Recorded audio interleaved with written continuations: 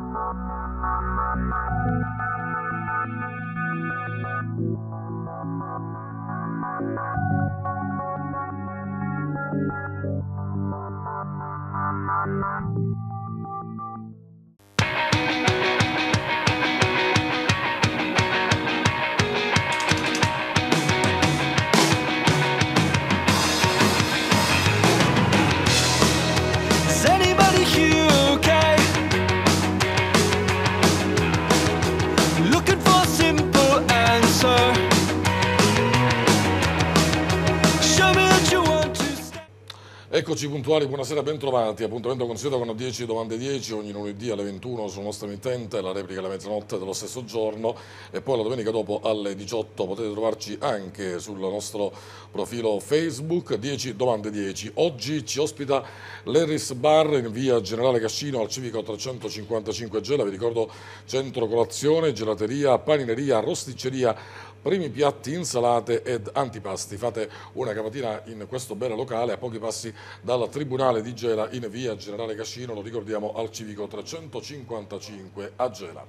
Quest'oggi ha raggiunto il nostro studio itinerante il comandante della Capitaneria di Porto, Guardia Costiera di Gela, il capitano di fregata Pietro Carosia. Buonasera, ben trovato. Buonasera, buonasera a tutti i telespettatori. Prima apparizione, se vogliamo, pubblica, eh? da quando sì, si è a sì, Gela. sì, sì. Ma eh, sono arrivato a Gela il, il 5 settembre, quando abbiamo fatto il passaggio di consegne con il collega che eh, è andato via, Emilio Greco, carissimo amico. Eh, abbiamo mm, avuto la fortuna di andare a essere ospiti del comune a Palazzo Pignatelli, quindi è stata una location bellissima. Anche se devo dire che già avevo incominciato a girare la settimana prima a Gela eh, e mi è piaciuta tantissimo. È stato un, un amore a prima vista per quello che mi riguarda. Però in questo caso dicevamo prima apparizione pubblica perché il nostro programma, a differenza delle altre interviste, dura abbastanza, eh? Ma 40 assolutamente minuti. Sì, devo dire che avete, insomma, avete avuto la- la- questa, questa, ho avuto l'opportunità di, di entrare nella vita pubblica con voi. Ah, Grazie a voi perché effettivamente siamo stati molto impegnati in questo periodo per eh, le vicissitudini che sappiamo, per riuscire a trovare, a risolvere un po' di problemini con eh, la raffineria. Eh, e devo dire che mi ha fatto piacere, mi fa piacere eh, entrare un poco nelle case del, del- del vostro pubblico e della città di Gela, anche del- dell'Iterland. Patavino di Padova, giusto? Beh, beh, beh, diciamo, diciamo, allora, c'è stato un piccolo problema, Sì. che mia mamma non ce la faceva più, diciamolo così, perché mio papà, buonanima, eh, Giovanni, eh, era di Leonforte. Mia mamma è veneta, sì, è vero, però abbiamo sempre vissuto in Sicilia. Per caso ci trovavamo eh, da quelle parti, perché mio padre faceva spesso le cure termali, Montegrotto, cose del genere, e quindi mia madre mi ha partorito a Padova, ma io sono, e eh, lo dico, siciliano, puro sangue, e guai a chi mi tocca la Sicilia. Va bene, ok. Dobbiamo fermarci un attimo, guardare la linea alla regia. È inusuale vedere un comandante della Guardia Costiera che annunci la pubblicità. Beh, adesso ce l'annunci tu, dai. E allora, andiamo in pubblicità.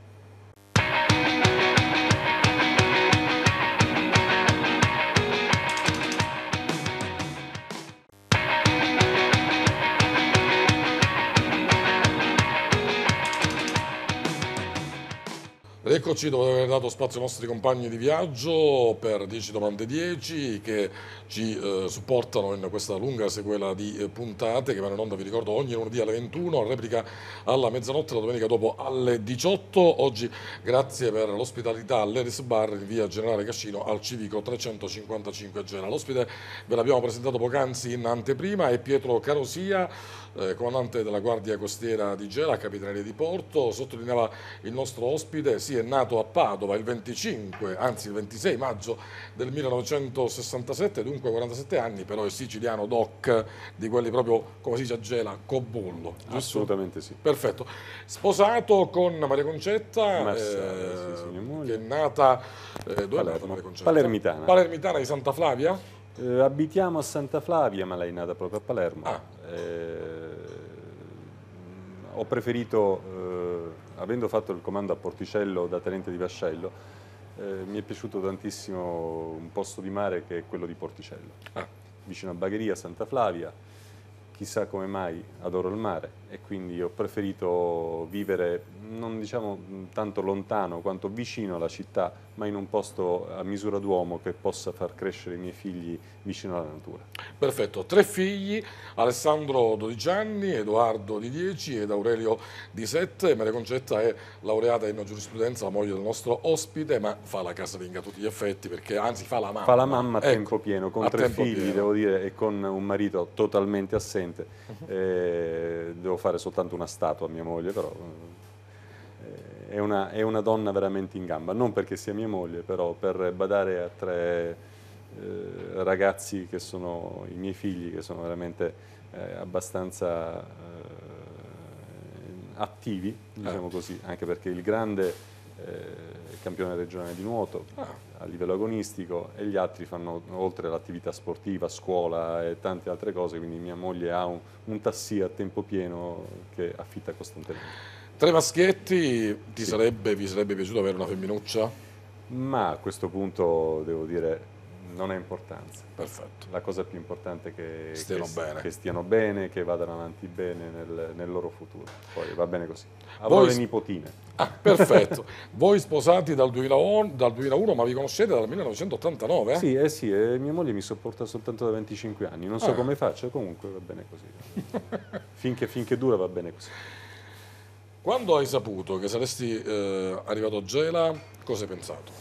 Ero contento, ero contento perché rimango nella mia Sicilia, mi sono spostato soltanto di 75 km, quindi eh, esploro una zona che mi piace perché provengo da Porto Empedocle, ho fatto il comandante in seconda per circa tre anni a Porto Empedocle, dove mi sono trovato mm, altrettanto bene.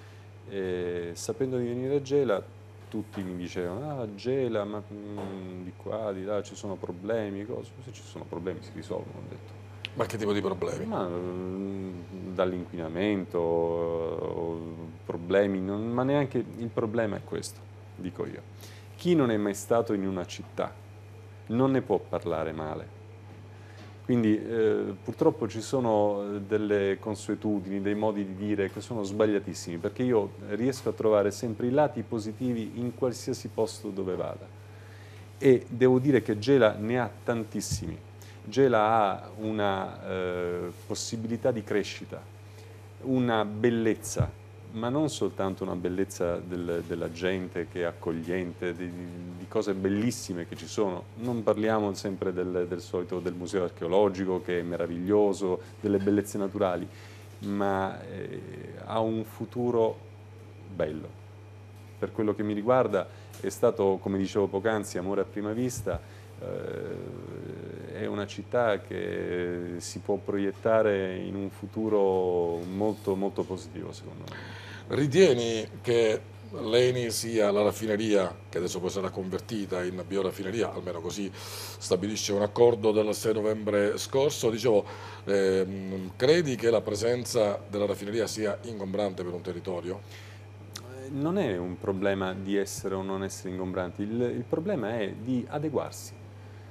E penso che la raffineria di Gela stia eh, riuscendo ad adeguarsi ai eh, tempi eh, moderni, diciamo così, perché ricordiamoci che la raffineria di Gela, quando è stata costruita, stiamo parlando di 50 anni fa, se non dico sciocchezze, era eh, il fiore all'occhiello dell'ENI.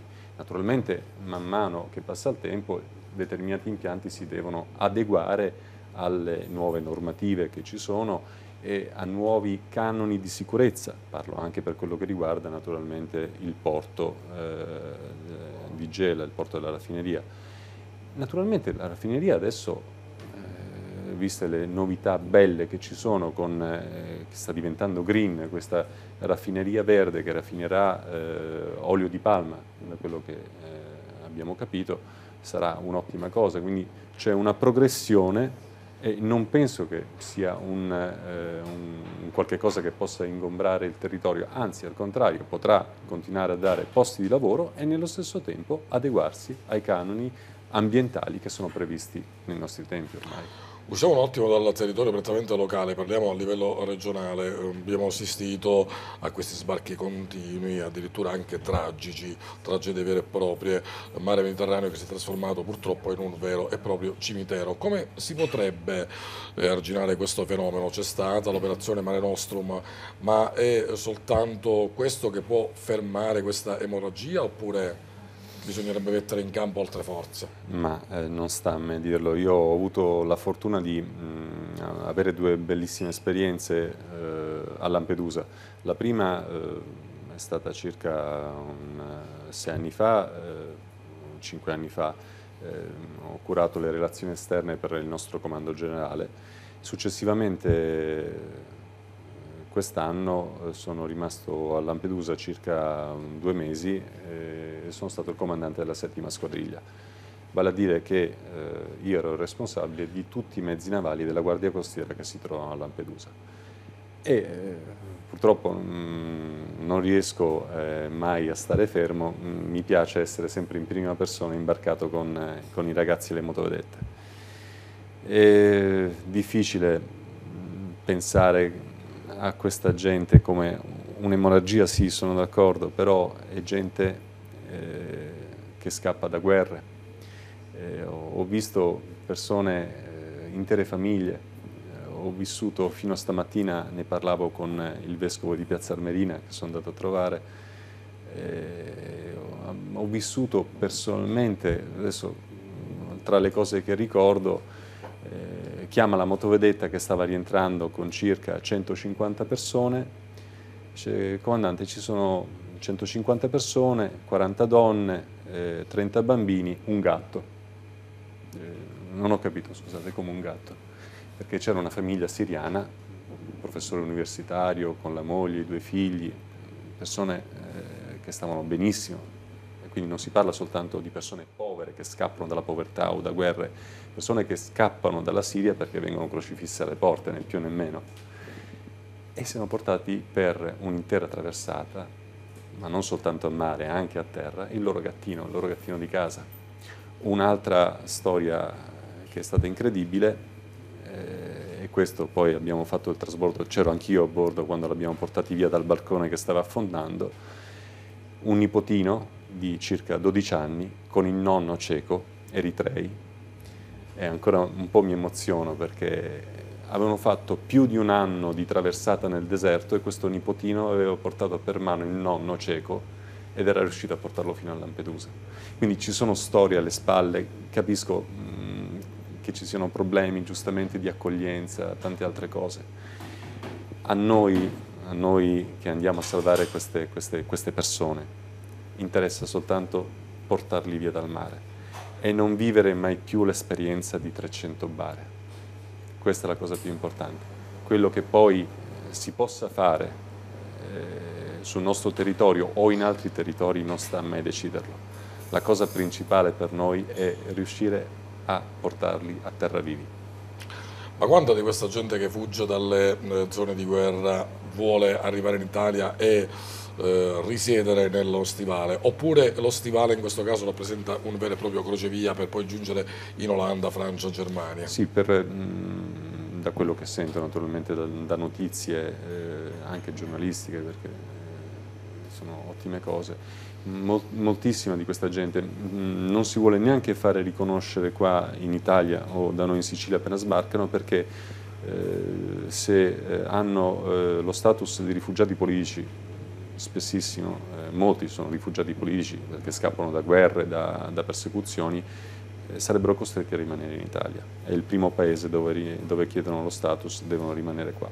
Invece preferiscono andare vicino alle loro famiglie, in Germania, come dicevi tu, eh, fuori in Olanda e tanti altri posti, chiedere là lo status perché sono eh, più vicini ai loro cari. Però devo dire che eh, ho saputo che molti hanno anche famiglie che risiedono qui, quindi si fermano anche in Italia. Eh. Abbiamo parlato di un fatto, se vogliamo, abbastanza eh, problematico. Ah, intanto arriva il caffè offerto quest'oggi dall'Eris Bar Grazie. in via Generale Cascino eh, a Gela. Grazie ancora una volta per il caffè. Grazie. Eh, dicevamo, eh, parlavamo di questi dati eh, drammatici da pala in frasca. C'è invece un fatto curioso eh, che ti ha colpito e ti colpisce tuttora nella tua attività professionale, che non hai mai raccontato, ma che oggi hai la possibilità invece di esternarlo pubblicamente.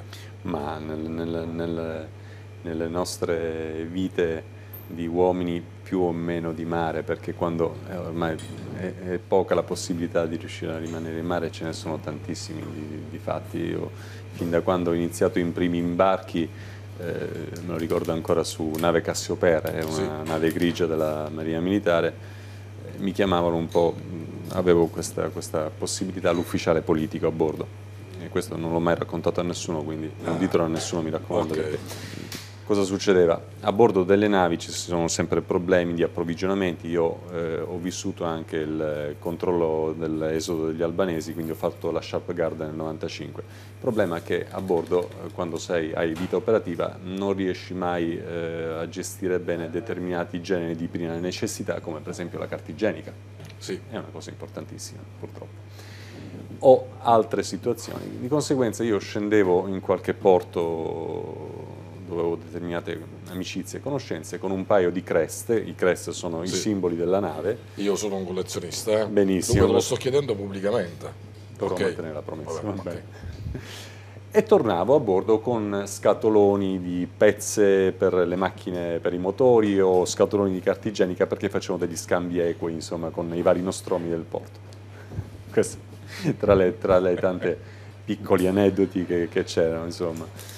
Però mh, devo dire che il- chi sta per mare, in particolar modo i, i nostri colleghi delle motovedette eh, e anche i nostri colleghi eh, delle, delle navi grigie fanno degli enormi sacrifici.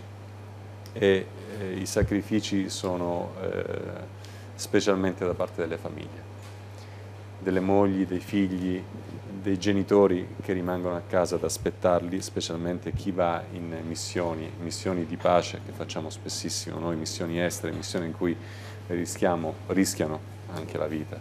Quindi eh, ricordatevi sempre che ci sono delle famiglie a casa che aspettano i loro cari, eh, che sono in mare a rischiare la vita per salvarne altre. E proprio in merito a quello che dici, ehm, che chiave di lettura dai invece alla vicenda dei due Marò, uno dei quali fortunatamente ora è tornato in Italia ma solo per curarsi, poi dovrà ritornare in India a scontare ehm, quanto mh, decretato, sentenziato dal Tribunale. Che chiave di lettura dai? Ma eh, la chiave di lettura è che ci sono due nostri colleghi che in questo momento non sono con le loro famiglie, tanto per ri- ritornare al, al discorso di prima. Eh, non sta a me eh, decidere eh, cosa sia bene o cosa sia male, quale sia- ci sia stato o non ci sia stato uno sbaglio di chi o di che cosa. Eh, il mio augurio è soltanto che possano rientrare a casa che possa la nostra diplomazia, che so che si sta muovendo eh, benissimo, riuscire a risolvere questi problemi con lo Stato indiano e riportare i nostri ragazzi a casa. Questa è la cosa più importante, al più presto. Perché hai pensato e poi hai concretizzato di entrare a far parte della Marina Militare? Cosa ti ha colpito? Ma devo dire che non senza mh, voler esaltare eh, nessuna passione particolare, perché è inutile dire, come dicevo poc'anzi, adoro il mare, adoro tutti gli sport che hanno a che fare con il mare. E è stata un'opportunità. Una volta che mi sono laureato ho- avevo l'opportunità di entrare o in polizia, perché sono laureato in scienze politiche, ho fatto il concorso, sono stato anche vincitore di concorso e eh, altresì eh, ho vinto il concorso prima eh, come mh, allievo ufficiale di complemento della Marina Militare, laureato, perché tutto questo è successo dopo che mi sono laureato e una volta che ero già in, in Marina ho provato a fare il concorso per il servizio permanente effettivo, è andato bene e ho deciso di, eh, di continuare, di coltivare e continuare con questa mia passione, che poi penso che si sia rivelata la scelta migliore per me. E consiglieresti ai giovani di oggi Assolutamente sì, sì, sì, sì, sì, sì. È, un, è un bel lavoro, Eh, naturalmente ve lo dice chi, chi è appassionato di, di questo lavoro, però è un lavoro che può dare tante soddisfazioni, soddisfazioni anche per aiutare il prossimo. Il rapporto che hai con eh, i vari ufficiali, i vari sottufficiali, i marinai che fanno parte della struttura della Guardia Costiera Gelese qual è? riuscire a lavorare, come dico io, a zappare la terra, a lavorare tanto, bene, in armonia, riuscire ad andare in ufficio col sorriso sulle labbra, non pensando che sarà una giornata pesante con un comandante che ti assilla, ma pensando che ci sarà sì una giornata pesante, ma con eh, la serenità sul posto di lavoro per riuscire ad affrontare i problemi con eh, una mente più aperta, più serena e lavorando tutti in sinergia. Io per primo, io in prima linea e dietro di me come li chiamo i miei ragazzi. Una vera e propria squadra se vogliamo. Assolutamente sì. Tu sei l'allenatore Sì, in termini eccellenza. calcistici mi piace, sì, mi piace questa e puntate definizione. sempre in alto? Sempre, sempre. Non vi accontentate della zona UEFA, No, scudetto, no? no, no, assolutamente no, bisogna sempre lavorare per il meglio anche perché il nostro è un lavoro sotto gli occhi di tutti. Dobbiamo, fino ad oggi mi sono fatto una bella passeggiata nel nostro porto rifugio Sì. e penso che per, nei prossimi giorni di coinvolgere un poco di, di enti, un poco di comitati eh, e io in prima linea ovviamente per fare una bella pulizia.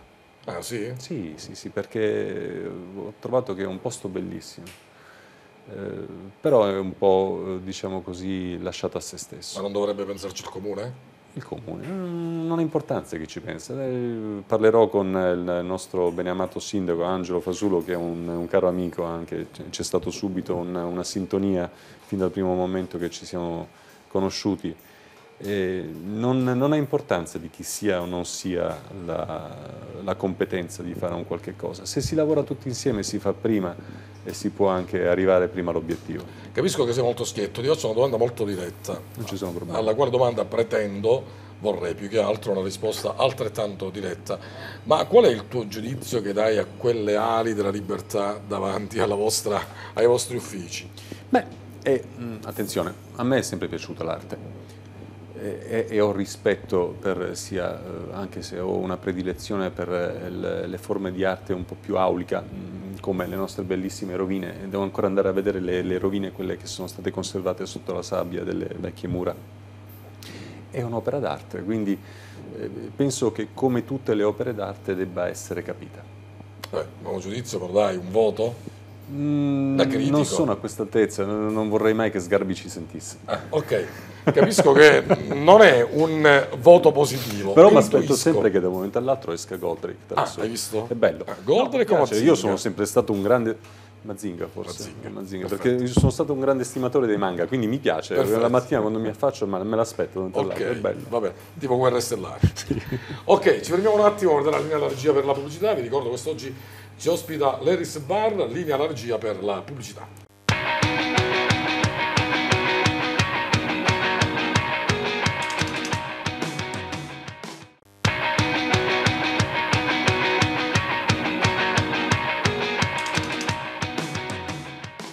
Eccoci con 10 domande 10, dopo aver dato spazio ai nostri compagni di viaggio, quest'oggi ci ospita l'Eris Bar in via Generale Cascino a Gela, al civico 355, vi ricordo primi piatti, centro colazione, gelateria, panineria, rosticceria ed ancora antipasti.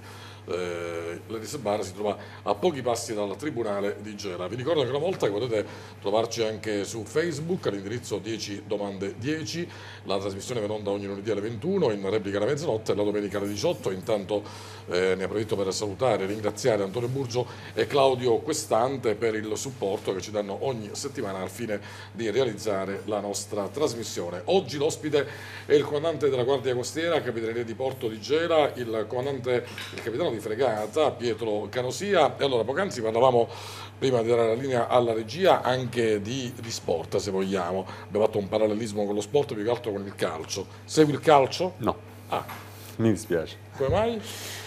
E perché non, eh, non mi sono mai interessato, quindi non, non l'ho mai seguito. E qual è lo sport che invece ti piace seguire? Ma a me piacciono sport, eh, diciamo così, estremi, perché oltre ad essere pilota di aerei sono un paracadutista e, e poi ho sempre fatto un po' di arti marziali, eh, nuoto a livello non, non agonistico, arti marziali più che altro e, e- e poi mi piacciono questi sport un po' più estremi e sport che mi portino poi a contatto col mare. Sono uno zoccolo duro Ah, del windsurf dei tempi di Robin Nash, quindi ho la mia età, però insomma ancora 47 anni, conservo ancora le mie tavole, adesso spero di usarle al più presto perché ho visto che qua ci sono degli spot bellissimi qua a Gela, poi si alza sempre la termica, il vento giusto, alla determinata ora giusta e spero di andare a fare compagnia al più presto a un po' di persone che ho trovato dei, dei grandi amici eh, che eh, sono anche dei colleghi che mi hanno fatto vedere a Manfria dei, dei posti molto belli dove andare a fare Fai surf. anche immersione?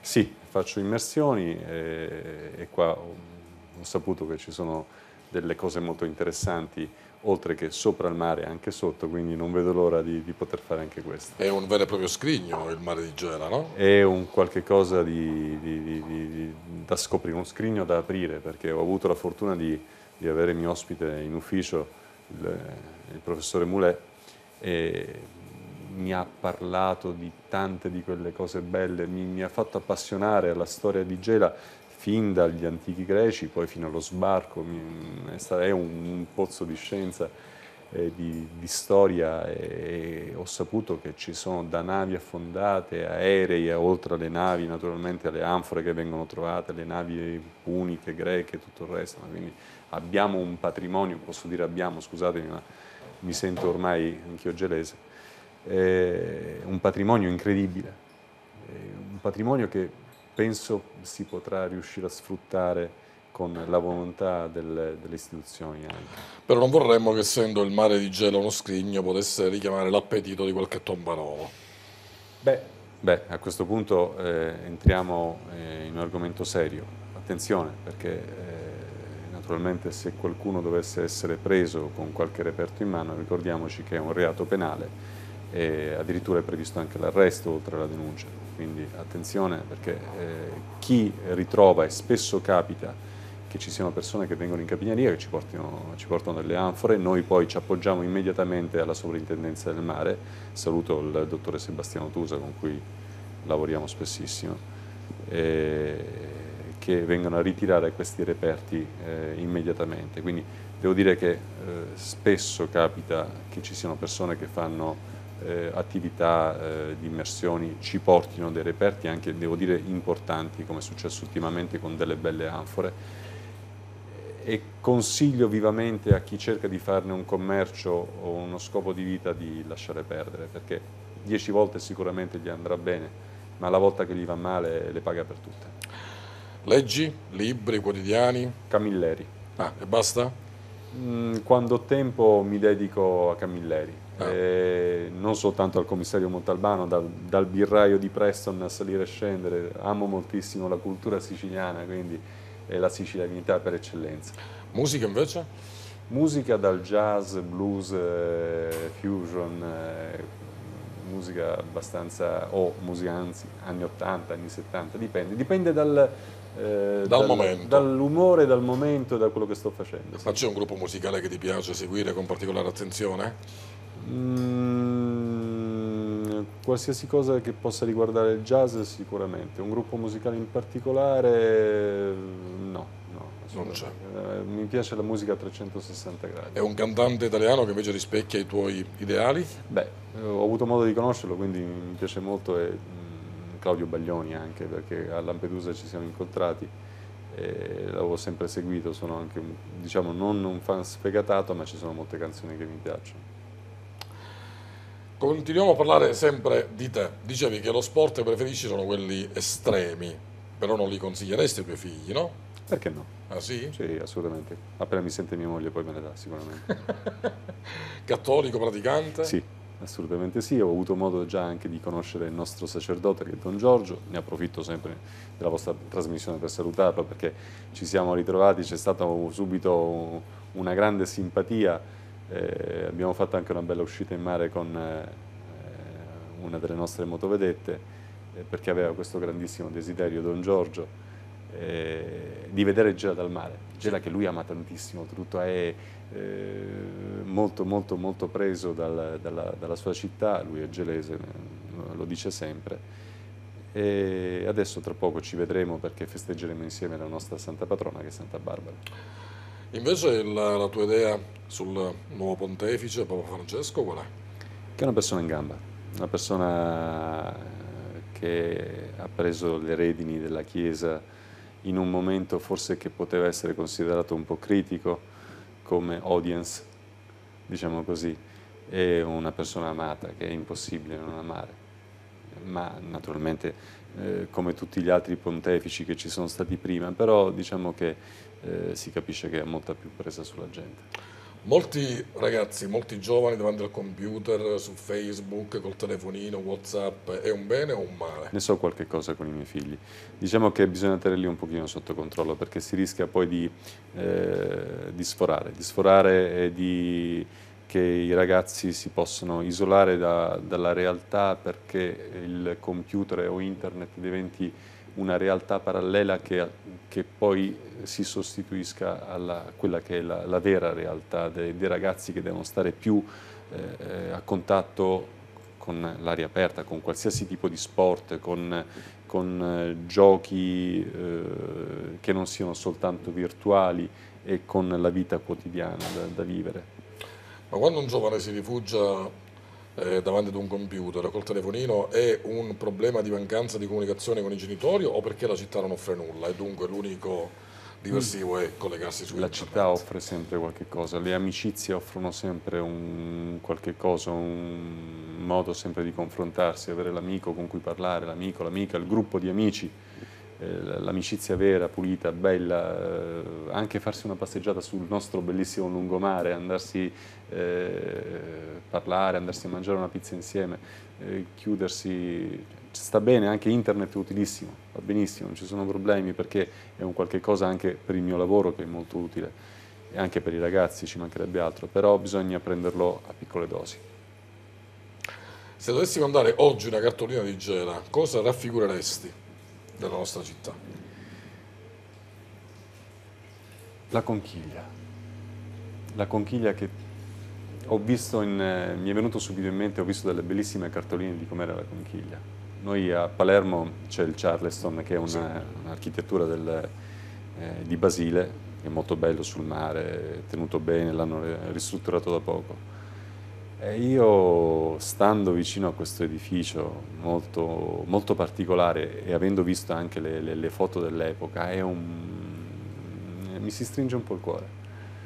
Vedere Gela con la conchiglia restaurata, ristrutturata sarebbe una cosa bellissima, però capisco che eh, non, eh, con la spending review, con i problemi che ci siano adesso non sia possibile, però è stata la mia prima immagine adesso, vedere Gela, il mare di Gela, eh, con, eh, con questo- questa location bellissima, sistemata bene, sarebbe bellissimo. sì.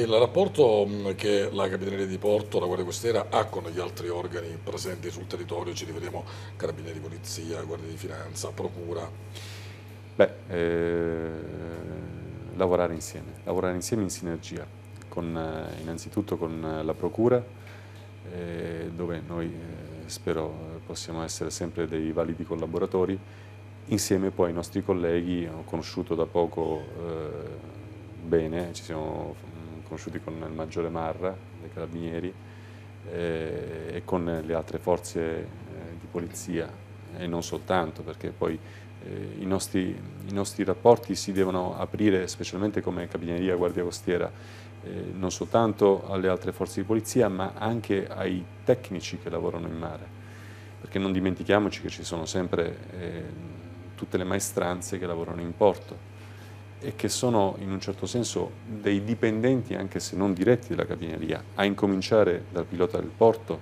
a salire e scendere, che sono i, chiamiamoli corpi tecnici che dipendono sempre dalla cabina di porto, sono i nostri occhi in mare.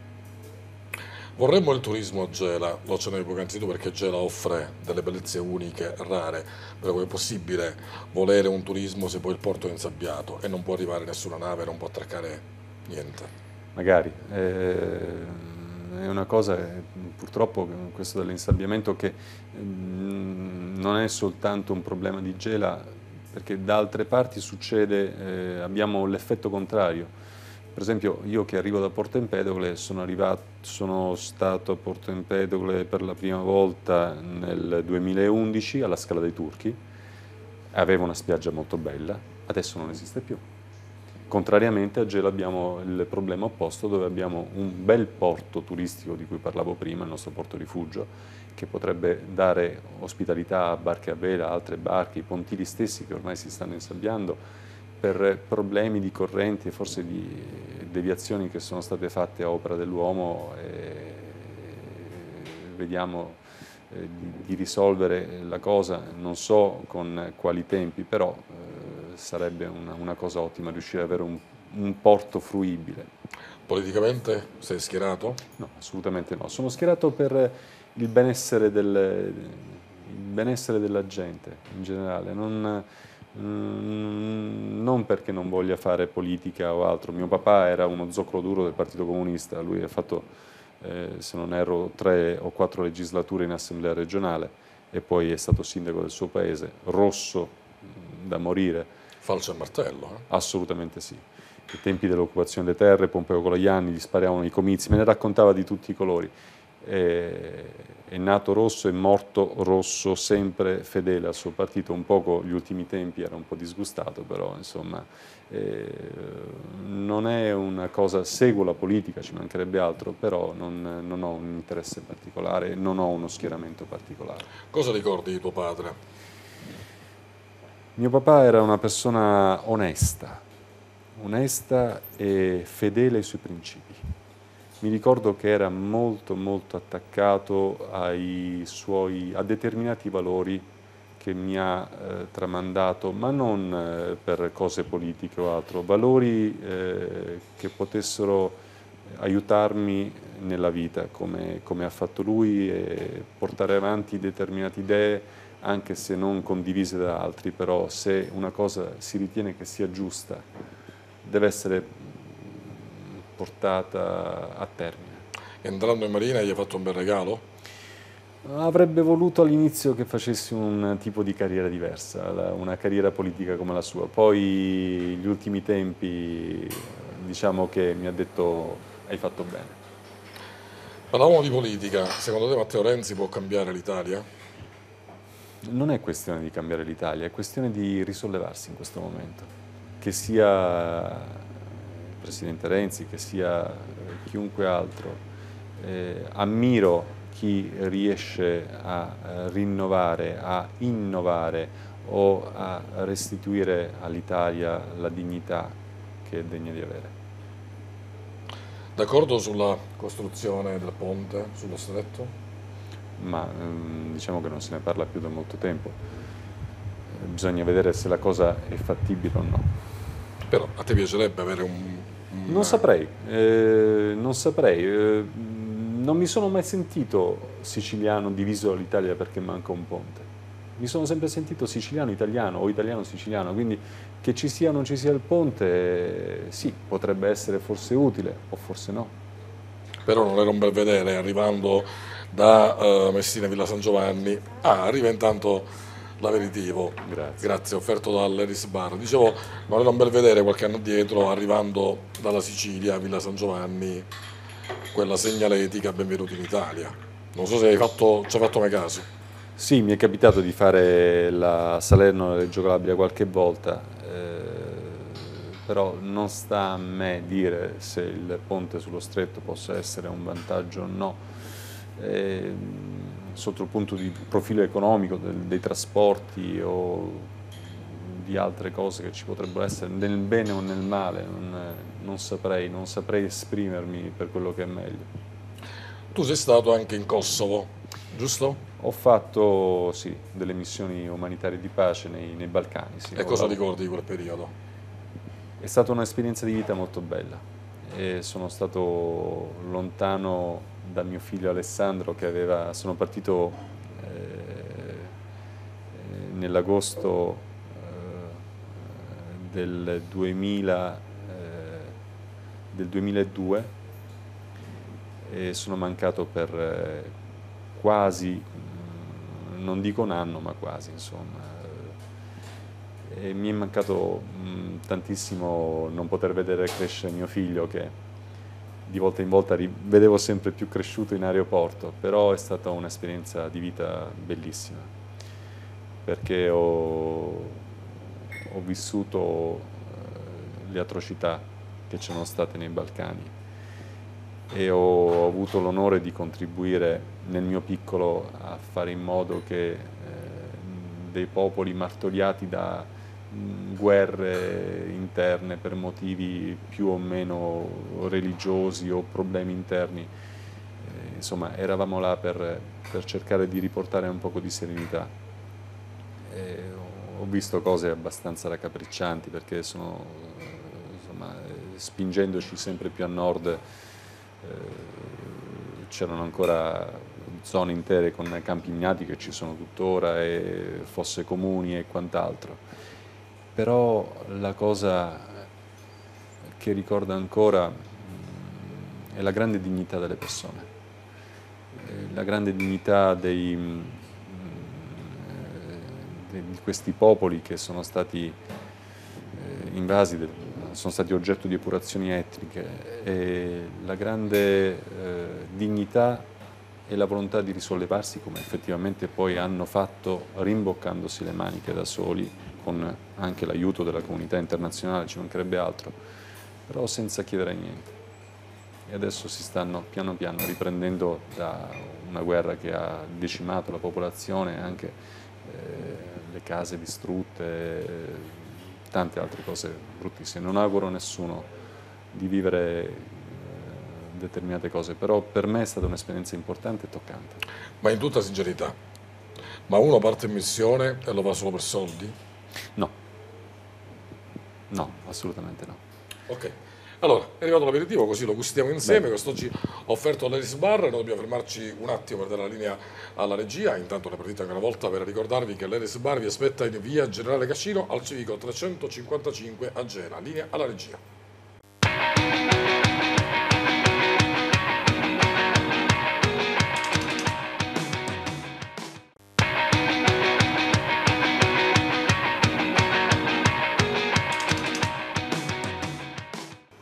Eccoci allora, abbiamo gli ultimi minuti in compagnia del nostro ospite quest'oggi, il capitano di fregata, comandante della Capitaneria di Porto di Gela, Guardia Costiera, Pietro Carosia. Quest'oggi siamo all'Eris Bar in via Generale Cascino al Civico 355 a Gela. Grazie ancora una volta per l'ospitalità. Stiamo per concludere la nostra piacevole chiacchierata, mi auguro, no? Così è stato? Assolutamente sì. Allora, pagina nera, se vogliamo, ci riferiamo alla vicenda della Concordia, giusto? Che ha coinvolto tutti voi, se vogliamo, volente sì, o nolente. Sì, sì, eh, chiederti cosa avresti fatto al posto di Schettino non te lo chiedo. Beh, al posto di eh. Schettino non lo so. Eh, giusto? Penso forse non, non, lo so proprio perché. Ma è, cioè, io voglio mm, capire come lo vorrebbero capire tanti italiani, anzi, parliamo uh, dei gelesi che ci seguono con particolare attenzione, ma è giusto quello che fa un comandante di una nave così importante, di una nave crociera, di eh, abbandonare quello che ritiene il suo gioiello più prezioso? Attenzione, mm, l'inchiesta è ancora in corso, cioè il processo è ancora in corso e stanno accertando tutti i vari momenti che ci sono stati in un eh, determinato frangente che è stato concitatissimo. La cosa più brutta è che ci siano stati dei morti che poi il comandante Schettino abbia o non abbia sbagliato o abbia abbandonato prima o dopo quanto previsto la nave non sta a me dirlo. Il problema grosso è che ci sono stati dei morti per un, eh, un errore e questo non doveva accadere sicuramente. Quindi questo è assolutamente da eh, condannare. Poi sarà la giustizia a stabilire come, perché e chi ha fatto esattamente questi errori. Ma eh, sono d'accordo sul fatto che eh, probabilmente la, quella nave non ci doveva stare, quello sicuramente. quindi è stata una, una pagina, come dici tu, una pagina nera della, della Marina Mercantile Italiana, ma con eh, i nuovi regolamenti, con eh, i nuovi controlli che vengono fatti tramite il VTS, la capineria, tramite altre, altre apparecchiature eh, tecniche che abbiamo noi a disposizione e anche naturalmente tramite direttive che sono state impartite dalle varie compagnie di bandiera, sono sicuro che non ci saranno più incidenti simili. Come hai saputo di questo tragico incidente? Dai media, come tutti penso d'altronde, è una cosa che eh, siamo rimasti un poco tutti pietrificati davanti, davanti a un, uno dei gioielli della nostra marina mercantile, una nave bellissima che spesso eh, ho, ho, avuto modo anche di visitare mh, perché attraccava a Palermo anche per, per, il mio lavoro. È impensabile, un po' forse come quando è affondato il Titanic, che era la nave inaffondabile per eccellenza, quindi era impensabile che potesse succedere un qualche cosa a una nostra nave nei nostri mari. Quindi è stato un colpo molto duro per noi. Ma è quasi un rituale l'inchino delle navi crociera? Mm, era la prima volta sinceramente che sentivo, io eh, ho orbitato sempre nella nostra, nella nostra Sicilia e non, eh, non, avevo mai sentito parlare di questo, di questo uso, se c'è mai stato o no, quindi mm, devo dire che sono impreparato sotto questo punto di vista. So soltanto che la nave era effettivamente un po' troppo vicina alla costa, all'isola del Gigno in questo caso. Abbiamo concluso. Grazie per essere stato nostro grazie ospite. A te, grazie a voi. Ti auguriamo le più belle fortune, in bocca al lupo, a te e ai tuoi uomini. Eh? Si dice, veramente si dovrebbe dire eh? in un altro modo, Perfetto. però forse è il okay. caso di non dirlo non perché di, non... si parla di balene cose okay, va okay. bene così. In Crepi il lupo. Puntini. Ok, perfetto. Grazie al comandante Pietro Carosia, patavino però siciliano 100%. 100%. Giusto? Perfetto, anche se è nato a Padova. Per sbaglio. Per sbaglio. Noi abbiamo concluso, quest'oggi siamo stati all'Eris Bar, vi ricordo in via Generale Cascino al Civico 355 Gela, noi ci rivedremo lunedì prossimo alle 21 in una replica alla mezzanotte, la domenica dopo alle 18. Saluto, ringrazio Claudio Vestante e il nostro cameraman per eccellenza, vecchio lupo di mare Antonio Burgio, grazie e arrivederci.